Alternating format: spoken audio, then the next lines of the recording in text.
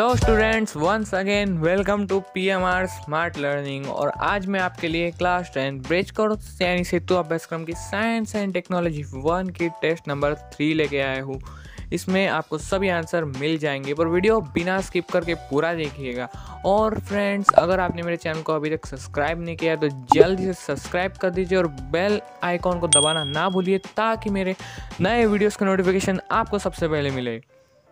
तो चलिए देखते हैं हमारी आज की ये टेस्ट ये फाइनल टेस्ट है साइंस एंड टेक्नोलॉजी वन की थर्ड नंबर की टेस्ट तो यहाँ पे ऑल क्वेश्चन आर कंपलसरी और सच में बता दूँ दोस्तों कि इस पूरी टेस्ट में और करके एक भी क्वेश्चन नहीं है। मतलब आपको सारे क्वेश्चन सॉल्व करना कंपलसरी है।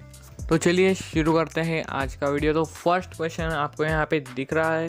Solve the following question classify the following acids into strong and weak acids तो यहाँ पे हमें चार एसिड्स के नाम दिए गए H two C O three H N O three H C L and C S three C O H तो ये चार एसिड्स में हमें क्लासीफाई करना है कि कौन से स्ट्रॉन्ग एसिड्स है और कौन से वीक एसिड्स तो इसका आंसर कुछ इस प्रकार रहेगा कि एच सी एल और एच एन ओ थ्री ये जो है, ये है स्ट्रॉन्ग एसिड्स और H two C O three और C H C O O H ये है वीक एसिड्स और C H three O H को एसिटिक एसिड भी बोलते हैं, जो कि उसका नाम है।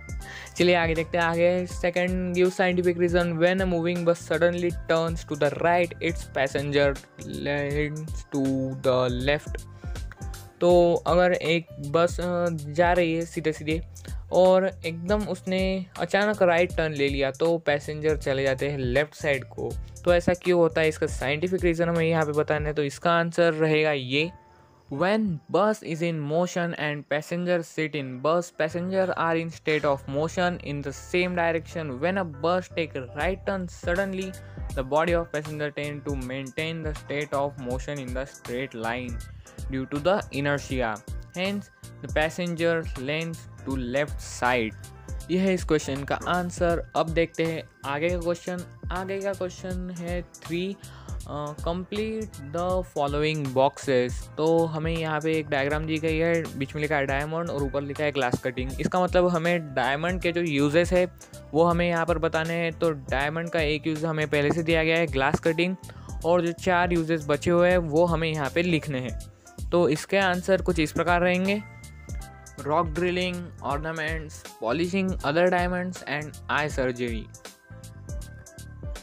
तो चलिए अब देखते हैं आगे के क्वेश्चंस आगे के क्वेश्चन में है distinguish between saturated and unsaturated hydrocarbons तो इसका आंसर कुछ इस प्रकार रहेगा. Saturated hydrocarbons the hydrocarbons having only single bonds between carbon atoms are called saturated hydrocarbons और इसका एग्ज़ाम्पल है इथेन और प्रोपेन और अनसेचुरेटेड हाइड्रोकार्बन्स का आएगा। Hydrocarbons having at least one multiple bond are called as unsaturated hydrocarbons और इसका example है इथाइन और प्रोपेन तो इसमें इथेन और इथाइन में कंफ्यूज मत होना दोस्तों, इसके स्पेलिंग थोड़ी डिफरेंट है, पर प्रोनाउंसिएशन थोड़ा थोड़ा सेम ही आता है। इसलिए आप देख लीजिए और एकदम देख के ध्यान से लिखें। आगे का क्वेश्चन है फाइव नंबर का कंप्लीट द फॉलोइंग चार्ट तो यहाँ पे हमें दिया गया है सब्सटेंसेस एसिड और बेसिक यहाँ पे लिटमस पेपर क्या ये दिया गया है? ब्लू और रेड और दिया गया है मिथिल ऑरेंज और फेनोप्लेन तो इस चार्ट का आंसर कुछ इस प्रकार रहेगा। एसिड के सामने जो मतलब ब्लैंक कॉलम है, लिटमस का ब्लू वाला, उसमें आएगा रेड और यहाँ पे रेड के कॉलम में आएगा ब्लू नीचे और मिथेल के इसमें नीचे आएगा येलो और फेनोप्लेन के नीचे आएगा यहाँ पे पिंक। तो अब बढ़ते हैं आगे के क्वेश्चन की तरफ़। आगे का क्वेश्चन क्वेश्चन नंबर सिक्स मतलब सिक्स क्वेश्चन है। Identify which rule is understood by observing the following diagram and write the rule in your own words तो इसमें यहाँ पे नीचे आपको डायग्राम दिख रही है। यहाँ पे सॉल्यूशन ऑफ़ कैल्शियम क्लोराइड है और सॉल्यूशन ऑफ़ सोडियम सल्फेट है। तो इसको यहाँ पे मिक्स किया गया है और इसका कलर वाइट हो गया है वाइट तो यहाँ पे वाइट कलर का एक केमिकल फॉर्म हुआ है। तो इस ये जो रिएक्शन है, नीचे डायग्राम में दी गई, इससे कौन सा रोल प्रूव होता है, ये हमें अपने वर्ड में लिखना है। तो इसका आंसर आएगा ये the law of conservation of matter is understood by also in the given diagram and the rule is the mass of the original matter and the mass of matter newly form as a result of chemical change are equal तो आगे का question question number two में है। First in the following example determine the direction of force and displacement identify positive negative और zero work done by applying the force तो first है pushing a stalled vehicle तो इसका answer आएगा positive work second है tying a stone to one end of us driving and swinging it round and round by the other end of the string तो इसमें answer आएगा zero work और third है catching a ball thrown by friend तो इसका answer है negative work आगे बढ़ते स्टूडेंट्स आगे observe the diagram and write the rules use for drawing ray diagrams तो पहले यहाँ पे एक मिरर है।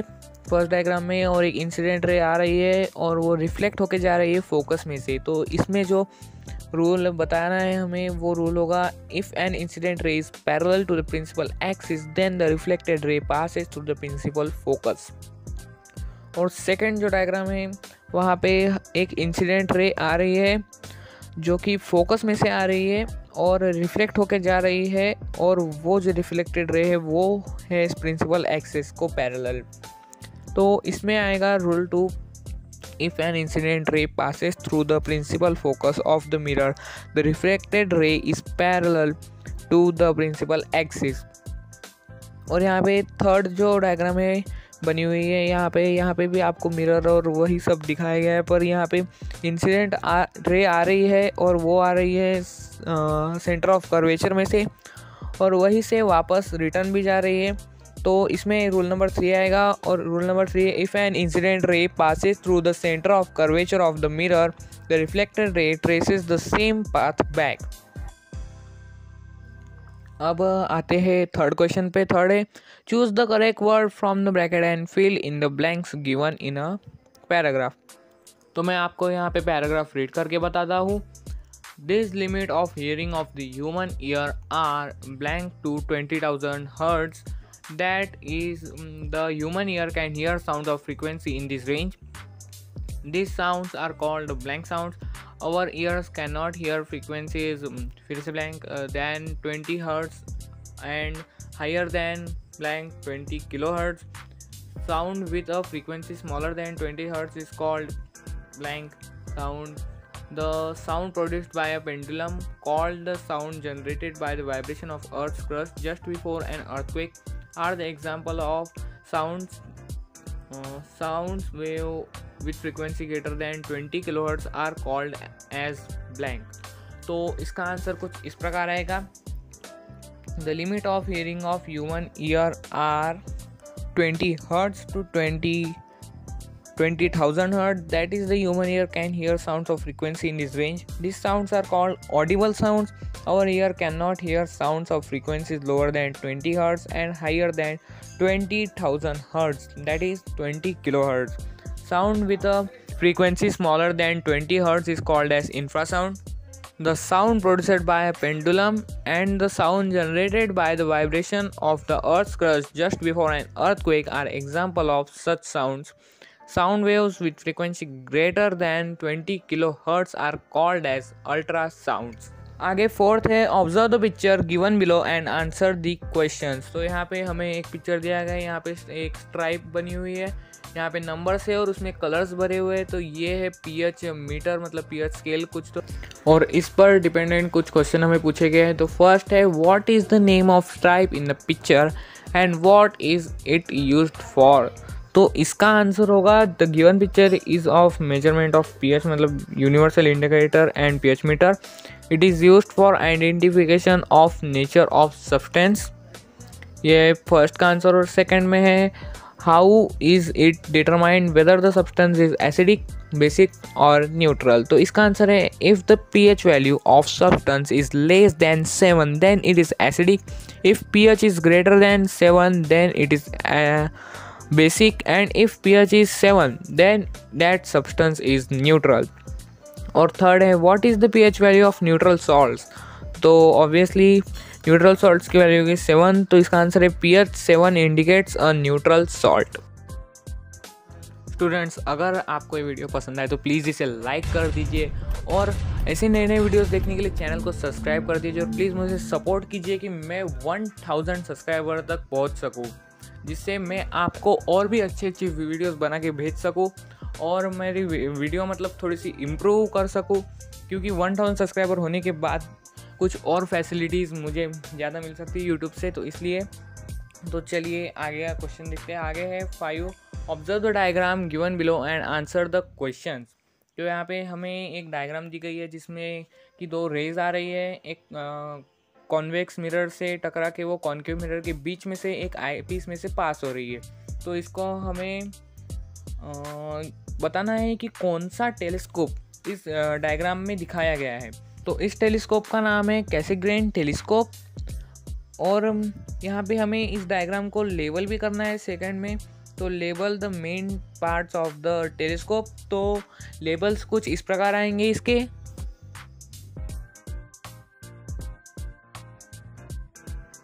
आगे देखते हैं सिक्स सिक्स में observe the diagram and answer the question तो यहाँ पे आपको स्क्रीन पर डायग्राम दिख रही होगी, यहाँ पे high electrical potential and low electrical potential दिखाया गया है। तो लेफ़्ट साइड में ए है और राइट साइड में बी है। लेफ़्ट साइड का पॉजिटिवली चार्ज है और राइट साइड में नेगेटिवली चार्ज तो इस पर हमें कुछ क्वेश्चन बताए पूछे गए हैं। तो क्वेश्चन नंबर ए है which conductor is at higher potential तो यहाँ पे इसका आंसर आएगा ए क्योंकि डायग्राम में बताया गया है ए के ऊपर लिखा गया है हाई इलेक्ट्रिक पोटेंशियल और बी है what is the direction of flow of electrons through the wire तो इसका आंसर होगा direction of flow of electrons through the wire is from conductor B to conductor A और last C है when will the electrons flow through wire stop flow of electrons will continue until the two conductors A and B have the same potential. That is, until their potential difference becomes zero.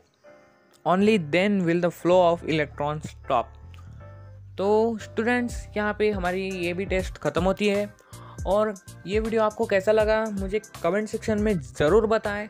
और अगर आपको पसंद आया तो इसे like ज़रूर करें। और नए नए वीडियोस देखने के लिए चैनल को सब्सक्राइब तो बिल्कुल कीजिएगा।